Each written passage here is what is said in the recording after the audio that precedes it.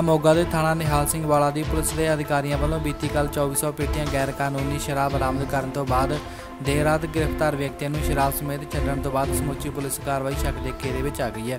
ਲੋਕਾਂ ਨੇ ਇਸ ਕਾਰਵਾਈ ਦੀ ਉੱਚ ਪੱਧਰੀ ਜਾਂਚ ਦੀ ਮੰਗ ਕੀਤੀ ਹੈ। ਬੇਸ਼ੱਕ ਪੁਲਿਸ ਦੇ ਅਧਿਕਾਰੀ ਦਾਅਵਾ ਕਰਦੇ ਹਨ ਕਿ ਗ੍ਰਿਫਤਾਰ ਸ਼ਰਾਬ ਦੇ ਠੇਕੇਦਾਰਾਂ ਵੱਲੋਂ ਕਾਬੂ ਕੀਤੀ ਗਈ ਸ਼ਰਾਬ ਦੇ ਦਸਤਾਵੇਜ਼ ਦੇਰ ਰਾਤ ਪੇਸ਼ ਕਰ ਦਿੱਤੇ ਗਏ ਸਨ, ਪਰ ਉਕਤ ਸ਼ਰਾਬ ਸੰਬੰਧੀ ਆਬਕਾਰੀ ਵਿਭਾਗ ਵੱਲੋਂ ਕੁੱਲ 10 ਸਤੰਬਰ ਨੂੰ L13 ਦਾ ਕੋਈ ਵੀ ਲਾਇਸੈਂਸ ਜਾਰੀ ਨਾ ਹੋਣ ਦੀ ਪੁਸ਼ਟੀ ਕੀਤੀ ਗਈ ਹੈ। ਜਿਸ ਨਾਲ ਪੁਲਿਸ ਦੀ ਕਾਰਵਾਈ ਸ਼ੱਕ ਦੇ ਘੇਰੇ ਵਿੱਚ ਆ ਗਈ ਹੈ, ਕਿਉਂਕਿ ਆਬਕਾਰੀ ਕਮਿਸ਼ਨਰ ਮੋਗਾ ਨੇ ਇਸ ਮਾਲ ਸੰਬੰਧੀ ਕੋਈ ਵੀ ਪਰਮਿਟ ਜਾਰੀ ਨਾ ਕਰਨ ਦਾ ਦਾਅਵਾ ਕੀਤਾ ਹੈ। ਅਤੇ ਇਹ ਵੀ ਕਿਹਾ ਹੈ ਕਿ ਪੁਲਿਸ ਨੇ ਇਸ ਸੰਬੰਧੀ ਉਹਨਾਂ ਨੂੰ ਕੋਈ ਵੀ ਜਾਣਕਾਰੀ ਨਹੀਂ ਦਿੱਤੀ। ਜ਼ਿਕਰਯੋਗ ਹੈ ਕਿ ਕੱਲ ਸ਼ਾਮ 6 ਵਜੇ ਸੀਆਈ ਸਟਾਫ ਬਿਲਾਸਪੁਰ ਅਤੇ ਥਾਣਾ ਨਿਹਾਲ ਸਿੰਘ ਵਾਲਾ ਦੀ ਪੁਲਿਸ ਵੱਲੋਂ ਡੀਐਸਪੀ ਨਿਹਾਲ ਸਿੰਘ ਵਾਲਾ, ਮਨਜੀਤ ਸਿੰਘ, ਥਾਣਾ ਨਿਹਾਲ ਸਿੰਘ ਵਾਲਾ ਦੇ ਮੁੱਖ ਅਫਸਰ ਲਾਸ਼ਮਨ ਸਿੰਘ ਅਤੇ ਸੀਆਈਏ ਬਿਲਾਸਪੁਰ ਦੇ ਇੰਚਾਰਜ ਇੰਸਪੈਕਟਰ ਸੁਖਜਿੰਦਰ ਸਿੰਘ ਵੱਲੋਂ ਪਿੰਡ ਤਖਤੂਪੁਰਾ ਅਤੇ ਬਿਲਾਸਪੁਰ ਤੋਂ ਠੇਕੇ ਤੋਂ ਸ਼ਰਾਬ ਲਾ ਰਹੇ ਦੋ ਕੈਂਟਰਾਂ ਨੂੰ ਕਾਬੂ ਕੀਤਾ ਸੀ। ਇਸ ਸੰਬੰਧੀ ਪੁਲਿਸ ਨੇ ਦੋ ਡਰਾਈਵਰਾਂ ਸਮੇਤ ਤਿੰਨ ਵਿਅਕਤੀਆਂ ਨੂੰ ਵੀ ਕਾਬੂ ਕੀਤਾ ਸੀ। ਜਿਨ੍ਹਾਂ ਦੇ ਬਕਾਇਦਾ ਹੱਥਕੜੀਆਂ ਲਗਾ ਕੇ ਉਹਨਾਂ ਨੂੰ ਚੌਂਕੀ ਬਿਲਾਸਪੁਰ ਵਿਖੇ ਲਿਆਂਦਾ ਗਿਆ। ਉਸ ਸਮੇਂ ਪੁਲਿਸ ਅਧਿਕਾਰੀਆਂ ਨੇ ਦੱਸਿਆ ਕਿ ਉਕਤ ਵਿਅਕਤੀ ਮੌਕੇ ਤੇ ਸ਼ਰਾਬ ਦੇ ਕੋਈ ਦਸਤਾਵੇਜ਼ ਪੇਸ਼ ਨਹੀਂ ਕਰ ਸਕੇ। ਫੜੀ ਗਈ 2400 ਪੇਟੀਆਂ ਸ਼ਰਾਬ ਰਾਣੋ ਸੌਂਫੀ ਦੇ ਕੋਈ ਬੈਚ ਨੰਬਰ ਨਹੀਂ ਸੀ। ਅਤੇ ਉਕਤ ਸ਼ਰਾਬ ਸੇਦੀ ਫੈਕਟਰੀ ਤੋਂ ਦੋ ਨੰਬਰ ਰਾਹੀਂ ਬਗੈਰ L13 ਲਾਇਸੈਂਸ ਜਾਰੀ ਕੀਤੇ ਬ੍ਰਾਂਚਾਂ ਵਿੱਚ ਆਈ ਸੀ। ਮੁਖਬਰ ਦੀ ਸੂਚਨਾ ਦੇ ਪੁਲਿਸ ਵੱਲੋਂ ਉਕਤ ਸ਼ਰਾਬ ਨੂੰ ਕਾਬੂ ਕਰ ਲਿਆ ਗਿਆ। ਇਸ ਸੰਬੰਧੀ ਬਕਾਇਦਾ ਪਰਚਾ ਦਰਜ ਕਰਨ ਦਾ ਰੋਕਾ ਵੀ ਜਾਰੀ ਹੋ ਗਿਆ ਸੀ, ਪਰ ਰਾਤ 10 ਵਜੇ ਦੇ ਕਰੀਬ ਉਕਤ ਫੜੇ ਵਿਅਕਤੀਆਂ ਨੂੰ ਪੁਲਿਸ ਵੱਲੋਂ ਸ਼ਰਾਬ ਸਮੇਤ ਰਿਹਾ ਕਰ ਦਿੱਤਾ ਗਿਆ। ਇਸ ਸੰਬੰਧੀ ਡੀਐਸਪੀ ਮਨਜੀਤ ਸਿੰਘ ਨੇ ਪ੍ਰੈਸ ਕਾਨਫਰੰਸ ਦੌਰਾਨ ਕਿਹਾ ਕਿ ਉਕਤ ਫੜੇ ਗਏ ਵਿਅਕਤੀਆਂ ਨੇ ਪੁਲਿਸ ਕੋਲ ਦਸਤਾਵੇਜ਼ ਪੇਸ਼ ਕਰ ਦਿੱਤੇ ਸਨ, ਜਿਸ ਤੋਂ ਬਾਅਦ ਉਹਨਾਂ ਨੂੰ ਛੱਡਿਆ ਗਿਆ ਸੀ, ਪਰ ਉਹਨਾਂ ਨੇ ਕੀ ਦਸਤਾਵੇਜ਼ ਪੇਸ਼ ਕੀਤੇ ਇਸ ਸੰਬੰਧੀ ਉਹਨਾਂ ਕੋਲ ਕੋਈ ਵੀ ਸਪਸ਼ਟ ਜਵਾਬ ਨਹੀਂ ਸੀ। ਇਹ ਰਾਤ ਕੋਈ ਠੇਕੇਦਾਰਾਂ ਦੀ ਸ਼ਰਾਬ ਅਸੀਂ ਰੋਕ ਕੇ ਚੈੱਕ ਕੀਤਾ ਸੀ ਫੜੀ ਸੀ। ਪਰ ਫਿਰ ਉਹਨਾਂ ਨੇ ਆਪਦਾ ਜੋ ਲੀਗਲ ਕੋਈ ਡਾਕੂਮੈਂਟ ਸੀਗੇ ਉਹ ਪੇਸ਼ ਕਰਨ ਤੋਂ ਬਾਅਦ ਐਸਐਚਓ ਸਾਹਿਬ ਨੇ ਰਿਲੀਜ਼ ਕਰ ਦਿੱਤੇ। ਕੀ ਕੀ ਡਾਕੂਮੈਂਟ ਦਿਖਾਏ ਗਏ ਤੁਹਾਨੂੰ? ਜੋ ਵੀ ਸੰਬੰਧਿਤ ਡਾਕੂਮੈਂਟ ਹੁੰਦੇ ਆ। ਪੁਲਿਸ ਕੋਲ ਪਹਿਲਾਂ ਉਹਨਾਂ ਨੇ ਕੋਈ ਦੱਸਿਆ ਨਹੀਂਗਾ ਜੀ ਸਾਡੇ ਕੋਲ ਲੀਗਲ ਆ ਪੁਲਿਸ ਨੇ ਪਹਿਲਾਂ ਤ- ਉਤਾਰ ਕੇ ਟਰੱਕ ਚੋਂ ਗਿਣਤੀ ਕ- ਕੀਤੀ ਉਸ ਤੋਂ ਬਾਅਦ ਫਿਰ ਉਹਨਾਂ ਨੂੰ ਛੱਡ ਦਿੱਤਾ ਗਿਆ। ਉਹਨਾਂ ਚੌਂਕੀ ਨੂੰ ਲਿਆਂਦਾ ਗਿਆ ਜਿਹਨੂੰ ਅਹ, ਹੱਥ ਕੜੀਆਂ ਲਾ ਕੇ। ਨਹੀਂ ਇਹ ਤਾਂ ਦੇਖੋ ਜਿਹੜਾ ਕਿਸੇ ਵੀ ਕੰਮ ਨੂੰ ਵੈਰੀਫਾਈ ਕਰਨਾ ਉਹ ਤਾਂ ਪੁਲਿਸ ਦਾ ਕੰਮ ਆ। ਵੈਰੀਫਿਕੇਸ਼ਨ ਤੋਂ ਬਾਅਦ ਹੀ ਆਪਾਂ ਕਿਸੇ ਸਿੱਟੇ ਤੇ ਪਹੁੰਚਿਆ ਜਾ ਸਕਦਾ। ਸਰ ਵੈਰੀਫਿਕੇਸ਼ਨ ਜਿਹੜੀ ਉਹ ਐਕਸਾਈਜ਼ ਮਹਿਕਮੇ ਨੇ ਕੀਤੀ ਜਾਂ ਪੁਲਿਸ ਡਿਪਾਰਟਮੈਂਟ ਨੇ ਕੀਤੀ ਜਾਂ ਦੋਨਾਂ ਨੇ ਰਲ ਕੇ ਕੀਤੀ? ਸਾਈਜ਼ ਮਹਿਕਮਾ ਵੀ ਨਾਲ ਸੀ ਤੇ ਐਸਐਚਓ ਸਾਹਿਬ ਸਾਈਜ਼ ਨੇ ਤਾਂ ਕਿਹਾ ਵੀ ਤੁਹਾਡੇ ਸਪੁਰਦ ਕਰ ਦਿੱਤੀ ਗਈ ਸੀ ਤੇ ਸਾਨੂੰ ਕੋਈ ਪਤਾ ਨਹੀਂਗਾ ਸਾਈਜ਼ ਐਕਸਾਈਜ਼ ਮਹਿਕਮੇ ਤਾਂ ਕਹਿੰਦਾ ਵੀ ਤੁਹਾਡੇ ਸਪੋਰਟ ਕਰਦੀ ਗਾ ਕਾਰਵਾਈ ਤੁਸੀਂ ਉਹ ਤਾਂ ਚਲੋ ਕਿਸੇ ਵੀ ਕੋਈ ਵੀ ਜਿਹੜਾ ਕੇਸ ਆ ਉਹਦੀ ਇਨਵੈਸਟੀਗੇਸ਼ਨ ਏਜੰਸੀ ਦੇ ਤੌਰ ਤੇ ਉਹਦੀ ਪੜਤਾਲ ਕਰਨੀ ਤਾਂ ਪੁਲਿਸ ਦਾ ਫਰਜ਼ ਹੈ ਪੜਤਾਲ ਕਰਕੇ ਛੱਡੀ ਜਾਊਗੀ ਬਾਹਰੋਂ ਸੀਗੀ ਸ਼ਰਾਬ ਜੀ। ਹਾਂਜੀ। ਮੋਗਿਓਂ ਆਈ ਸੀਗੀ ਜੀ।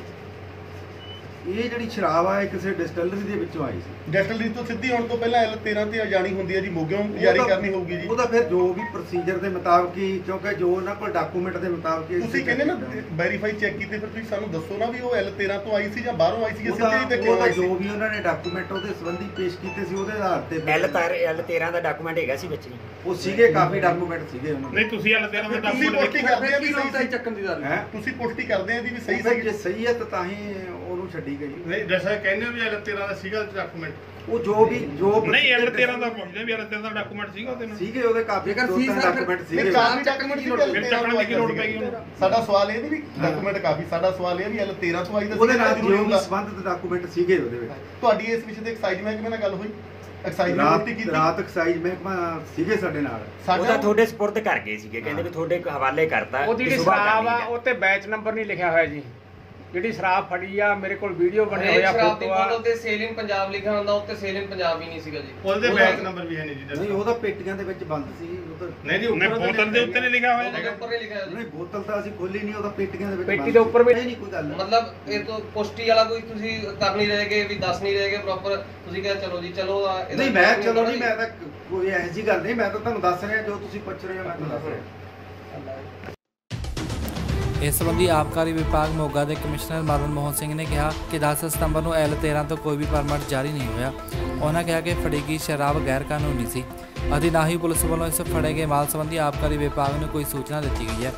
ਉਹਨਾਂ ਕਿਹਾ ਕਿ ਵਿਭਾਗ ਵੱਲੋਂ ਇਸ ਬਾਰੇ ਬਾਰੀਕੀ ਨਾਲ ਜਾਂਚ ਕੀਤੀ ਜਾਵੇਗੀ। ਸਰ ਰਾਜ ਰਾਤ ਦੋ ਕੈਂਟਰ ਫੜੇ ਸੀਗੇ ਪੁਲਿਸ ਵੱਲੋਂ ਸ਼ਰਾਬ ਦੇ ਜੀ। ਸਰ ਤੁਹਾਡੇ ਧਿਆਨ 'ਚ ਕੀ ਮਸਲਾ ਆਇਆ ਤੇ ਕੀ ਕਾਰਵਾਈ ਹੈ ਜੀ ਬਿਲਾਸਪੁਰ ਚੌਕੀ 'ਚ ਫੜੇ ਨਾ। ਤੇ ਉਹ ਕਿਤੇ ਪਤਾ ਮੈਨੂੰ ਇਹ ਲੱਗਾ ਕਿ ਪੁਲਿਸ ਵਾਲਿਆਂ ਨੇ ਫੜੇ ਆ ਤਾਂ ਉਹਨਾਂ ਨੇ ਪੁਲਿਸ ਵਾਲਿਆਂ ਨੇ ਛੱਡ ਦਿੱਤੇ ਆ। ਉਹਦੀ ਇਨਵੈਸਟੀਗੇਸ਼ਨ ਕਰ ਰਹੇ ਆ ਪਤਾ ਲੱਗ ਜਾਏਗਾ ਕਿਵੇਂ ਛੱਡੇ ਆ ਕਿੱਥੋਂ ਆਏ ਸੀ। ਸਾਡੇ ਕੋਲ ਤਾਂ ਗਏ ਹੀ ਨਹੀਂ। ਕਿੰਨੀ ਬੇਟੀ ਸੀ? ਮੈਂ ਤੇ ਪਤਾ ਲੱਗਾ ਪੇਪਰ ਦੇ ਥਰੂ ਮੀਡੀਆ ਦੇ ਥਰੂ 12 ਫਰ ਬੈਠੀ ਸੀਗੀ। ਸਾਡੇ 11 ਤੋਂ ਤਾਂ ਕੋਈ ਗਿਆ ਨਹੀਂ ਹੈ। ਜੀ ਆਪਣੇ ਇੱਥੋਂ ਨਹੀਂ ਗਈ? ਨਹੀਂ। ਕੋਈ ਮੁੰਡਾ ਕੋ ਪਾਸ ਵਗੈਰਾ ਕਿਸੇ ਤਰ੍ਹਾਂ ਦਾ ਕੁਝ ਹੈ ਨਹੀਂ, ਨਹੀਂ। ਇੱਥੋਂ? ਬਾਹਰੋਂ ਕਿਤੋਂ ਆ ਸਕਦੀ ਉਹੀ ਵੇਖ ਰਹੇ ਆ ਜੇ ਬਾਹਰੋਂ ਬਾਹਰ ਆਈ ਹੈ ਤਾਂ ਗਲਤ ਆਈ ਹੈ ਕੋਈ ਆਪਣੇ ਧਿਆਨ 'ਚ ਮਸਲਾ ਪਹਿਲਾਂ ਆਇਆ ਕਿ ਹੁਣੀ ਆਇਆ ਜੀ ਮੀਡੀਆ ਤੋਂ ਬਾਅਦ ਨਹੀਂ ਮੈਨੂੰ ਤਾਂ ਸਵੇਰੇ ਪਤਾ ਲੱਗਾ। ਕੋਈ ਆਪਣੇ ਕਿਸੇ ਵੀ ਧਿਆਨ 'ਚ ਨਹੀਂ ਹੈਗਾ ਜੀ। ਅਮ, ਮੇਰੀ ਇੱਕ ਸਾਹਿਬ ਨੇ ਸਵੇਰੇ ਦੱਸਿਆ ਸ਼ਾਇਦ ਉਹਨਾਂ ਨੂੰ ਪਤਾ ਪਤਾ ਲੱਗ ਗਿਆ। ਜੀ। ਹੋ ਪਤਾ ਸਕਦਾ। ਲੱਗਾ ਜੀ ਕਿਵੇਂ ਛੱਡੇ ਗਏ ਕੀ ਕਰਨ ਗਏ ਨਹੀਂ ਉਹ ਪਤਾ ਇਹ ਕਹਿ ਰਹੇ ਕਿ ਉਹਨਾਂ ਨੇ ਪੁਲਿਸ ਵਾਲਿਆਂ ਨੇ ਫੜੀ ਸੀ ਉਹਨਾਂ ਨੇ ਛੱਡਤੀ ਹੈ ਉਹੀ ਪਤਾ ਕਰ ਰਹੇ ਵੀ ਕਿਉਂ ਛੱਡੀ ਹੈ।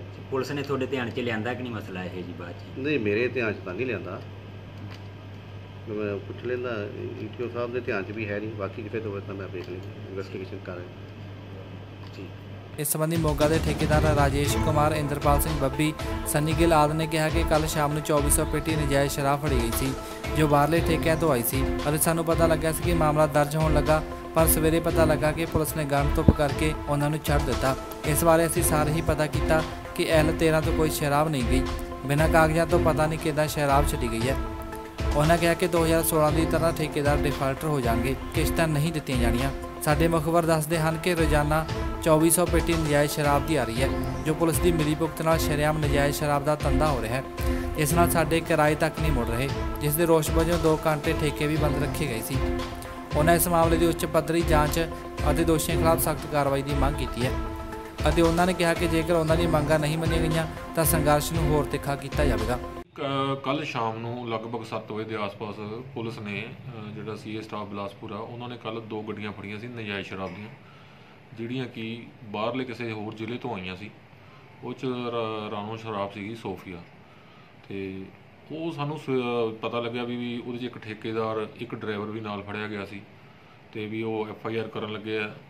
ਤੇ ਸਵੇਰ ਸਾਨੂੰ ਪਤਾ ਲੱਗਿਆ ਕਿ ਉਹ ਤਾਂ ਉਹਨਾਂ ਨੇ ਮ, ਗੱਡੀਆਂ ਵੀ ਛੱਡਤੀਆਂ ਤੇ ਦੋਸ਼ੀ ਵੀ ਛੱਡਤੇ ਜੀ। ਅਸੀਂ ਫਿਰ ਸਾਰਾ ਪਤਾ ਕਰਾਇਆ ਵੀ ਕੋਈ ਪ- ਮਤਲਬ ਮੋਗੇ ਜ਼ਿਲ੍ਹੇ ਦਾ ਤਾਂ ਨਹੀਂ ਸੀ ਸ਼ਰਾਬ ਸਾਨੂੰ ਪਤਾ ਲੱਗਿਆ ਵੀ ਉਹ ਕਹਿੰਦੇ ਕਾਗਜ਼ ਦਿਖਾਤੇ। ਐਲ ਤੇਰਾਂ ਸਾਡੇ ਕੋਲ ਹੀ ਨੇ ਅਸੀਂ ਪਤਾ ਕਰਾਇਆ ਤੇ ਐਲ ਤੇਰਾਂ ਤੋਂ ਤਾਂ ਕੋਈ ਪਾਸੇ ਹੀ ਨਹੀਂ ਕੱਟੇਗਾ ਸ਼ਰਾਬ ਤਾਂ ਬਾਹਰਲੀ ਸੀ। ਹੁਣ ਇਹ ਪਤਾ ਨਹੀਂ ਪੁਲਿਸ ਨੇ ਕੀ ਗੇਮ ਕੀਤੀ ਕੀ ਨਹੀਂ ਕੀਤੀ। ਬਿਨਾਂ ਕਿਸੇ ਕਾਗਜ਼ ਪੱਤਰ ਤੋਂ ਸ਼ਰਾਬ ਲੀਜ਼ ਕਰਤੀ। ਅੱਛਾ ਤੇ ਤੁਸੀਂ ਫਿਰ ਰੋਸ ਕੀ ਆਇਆ ਤੁਹਾਨੂੰ ਵੀ ਠੇਕੇ ਕਿਉਂ ਬੰਦ ਕੀਤੇ? ਬਾਈ ਜੀ ਸਾਡੀ ਸਾਰਿਆਂ ਦੀ ਫੀਸ ਟੁੱਟੀ ਪਈ ਹੈ। ਸਾਡੇ ਕੋਲੇ ਪੈਸੇ ਨਹੀਂ ਹੋ ਰਹੇ ਇਕੱਠੇ ਕਿਉਂਕਿ ਇਹ ਜਿਹੜੇ ਨੇ ਆਹ ਛੋਟੇ ਠੇਕੇਦਾਰ ਆ ਬਾਹਰੋਂ ਸ਼ਰਾਬ ਲਿਆ ਲਿਆ ਸਸਤੀ 150 ਰੁਪਏ ਦੀ ਬੋਤਲ ਵੇਚੀ ਜਾਂਦੇ ਆ। ਰੇਟ 210 ਰੁਪਏ ਆ ਮਿਨੀਮਮ ਇਹ ਪੈਸੇ ਕਮਾਈ ਜਾ ਰਹੇ ਤਾਂ ਸਾਡੀਆਂ ਸੇਲਾਂ ਡੁੱਬੀ ਜਾ ਰਹੀਆਂ। ਇਸੇ ਰੋਜ਼ ਚ ਅਸੀਂ ਠੇਕੇ ਬੰਦ ਕੀਤੇ ਆ ਵੀ ਸਾਨੂੰ ਸਾਨੂੰ ਵੀ ਤਾਂ ਬਚਾਓ। ਸਾਨੂੰ ਤਾਂ ਤੁਸੀਂ ਕੋਈ ਬਚਾਉਂਦੇ ਹੀ ਨਹੀਂ। ਸਾਨੂੰ ਤਾਂ ਡੁੱਬਣ ਤੇ ਲੱਗੇ ਹੋਏ ਹੋ।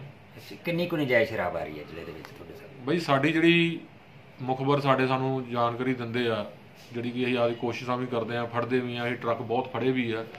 ਸਾਨੂੰ ਲੱਗ ਰਿਹਾ ਕਿ ਜਿਹੜੀ ਸਾਡੇ ਕੋਲ ਮੁਖਬਰੀ ਆ ਰਹੀ ਹੈ ਉਹ ਲਗਭਗ ਦੋ ਟਰੱਕ ਮਤਲਬ 2400 ਪੇਟੀ ਲਗਭਗ ਰੋਜ਼ ਮੁੱਗ ਜ਼ਿਲ੍ਹੇ ਚ ਆ ਰਹੀ ਹੈ ਤੇ ਜਿਹੜੇ ਠੇਕੇਦਾਰ ਘਾਟੇ 'ਚ ਜਾ ਰਹੇ ਨੇ? ਸਾਰਾ ਠੇਕੇਦਾਰ ਘੱਟ ਹੈ ਜੀ 16 17 ਵਾਲਾ ਕੰਮ ਫੇਰ ਹੋਣ ਲੱਗਾ। ਅੱਜ 16 17 ਦੇ ਵਿੱਚ ਜਿਵੇਂ ਕਈ ਠੇਕੇਦਾਰਾਂ ਡਿਫਾਲਟਰ ਸੀਗੇ ਅੱਜ ਫੇਰ ਉਹੀ ਪੋਜੀਸ਼ਨ ਹੋਈ ਜਾਂਦੀ ਆ। ਅੱਜ ਉਹ ਲਗਭਗ ਇਹ ਆਹ ਸੱਤ ਕਿਸ਼ਤਾਂ ਪਈਆਂ ਦੇਣ ਵਾਲੀਆਂ ਦਿੱਤੀਆਂ ਨਹੀਂ ਜਾਣੀਆਂ ਜੀ।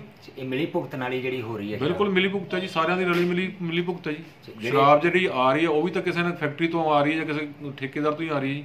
ਜਿਹੜੇ ਟਰੱਕ ਛੱਡੇ ਗਏ ਨੇ ਇਥੋਂ ਅਸੀਂ ਮੰਨਦੇ ਹੋ ਵੀ ਮਿਲੀ ਭੁਗਤ ਨਾਲ ਛੱਡੇ ਗਏ ਨੇ ਬਿਲਕੁਲ। ਕਿਸੇ ਤਰ੍ਹਾਂ ਦਾ ਵੀ L1 ਤੋਂ ਵੀ ਨਹੀਂ ਗਈ ਜਾਂ ਕਿਤੋਂ ਵੀ। L13 ਤੋਂ ਸ਼ਰਾਬ ਨਹੀਂ ਆਈ ਜੀ। ਮੋਗੇ ਜ਼ਿਲ੍ਹੇ ਦੇ ਆਣੀ ਜ਼ਰੂਰੀ ਆ। ਇਹ ਮੋਗੇ ਜ਼ਿਲ੍ਹੇ ਦੀ ਸ਼ਰਾਬ ਨਹੀਂ ਗਈ ਇਹ ਬਾਹਰੋਂ ਆਈ ਹੈ। ਇਹ ਫਿਰ ਪੁਲਿਸ ਨੇ ਮਿਲੀ ਭੁਗਤ ਨਾਲ ਛੱਡੀ। ਬਿਲਕੁਲ ਪੁਲਿਸ ਨੇ ਮਿਲੀ ਭੁਗਤ ਛੱਡੀ ਹੈ। ਆਵਾਜ਼ੇ ਗਮ ਟੀਵੀ ਲਈ ਮੋਗਾ ਤੋਂ ਚਮਕੌਰ ਸਿੰਘ ਲੋਪੋ ਦੀ ਰਿਪੋਰਟ।